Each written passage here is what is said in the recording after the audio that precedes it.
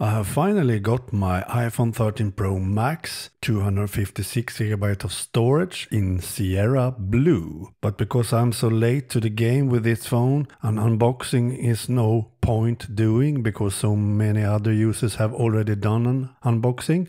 So in this video I will talk more about my thoughts about it so far and my first impressions and other stuff about the iPhone 13 Pro Max.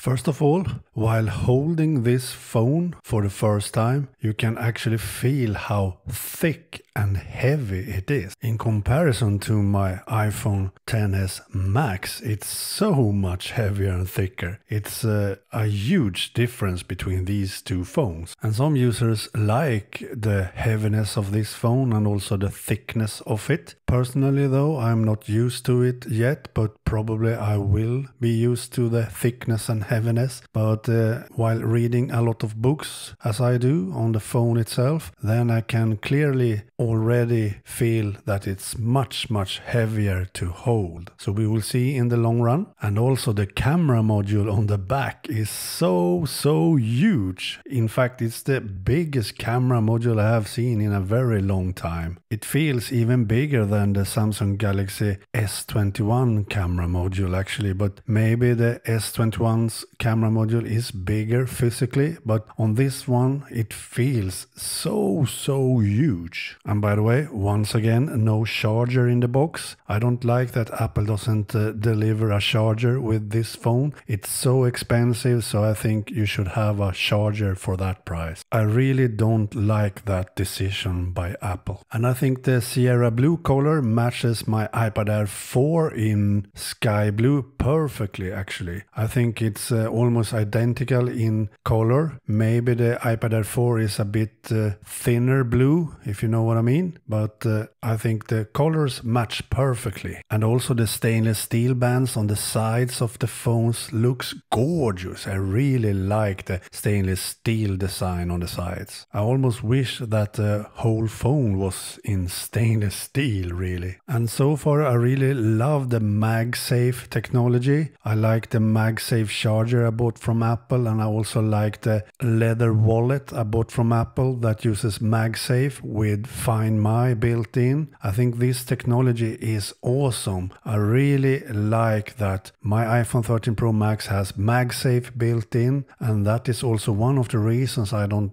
want to have a case on this phone because I will use MagSafe so much as I can, and I know that there are cases that also are compatible with MagSafe, but I don't want to have a case now because I will have this phone as it's meant to behold, and I really love to see the design of the phone all the time instead of hiding it away under a case. And the new OLED display with 120 Hz is really good. It looks great. I like that it's so bright now with 1000 nits, but personally I think 120 Hz displays are overhyped. I don't see so huge difference between 60 Hz and 120 Hz actually. And Apple uses a really smart technology for 120 Hz and the update rate of the display. It uses as low as 10 Hz when you are looking to uh, looking at a still picture for example or reading a book or a text that is still. And when you're scrolling fast or watching a movie on your phone then you use this 120 Hz if it's needed. But as I said I think that's overhyped. I could rather go with 60 Hz and have a longer battery life actually if I had to choose. But again I don't have to choose because the battery life on the iPhone 13 Pro Max is incredible. I have no need for better battery life really. It's everything I need in battery life. But again, to me, I think 120 Hz is not necessary. But I haven't had any headaches while reading books so far on this phone, so maybe 120 Hz is better for PWM flickering on the display because I haven't had any headaches at all since I bought it and I read a lot on it. So maybe 120 Hz is better for that. Who knows? If that's the case, I think uh, 120 Hz is definitely something I need because I really love reading books and I don't like to have migraines and headaches headaches and eye fatigue while reading on the phone. And yes, the notch is smaller on the iPhone 13 Pro Max than before, but uh, again, I don't see why that is a problem for some users because personally, I don't see the notch anymore because I'm used to it and it has never been a problem for me. So I don't see why that should be a problem. Then I think uh, the aspect ratio on, for example, Samsung phones is a lot worse than having a notch because the aspect ratio on Samsung phones means that the phones get so tall and not so wide. And that is a lot worse to me than having a notch and having a wider phone as the iPhone 13 Pro Max really is. Because having a wider aspect ratio and a wider phone means that you can see more of a YouTube video on the display when having in, in landscape mode. With the aspect ratio on Samsung phones, they get so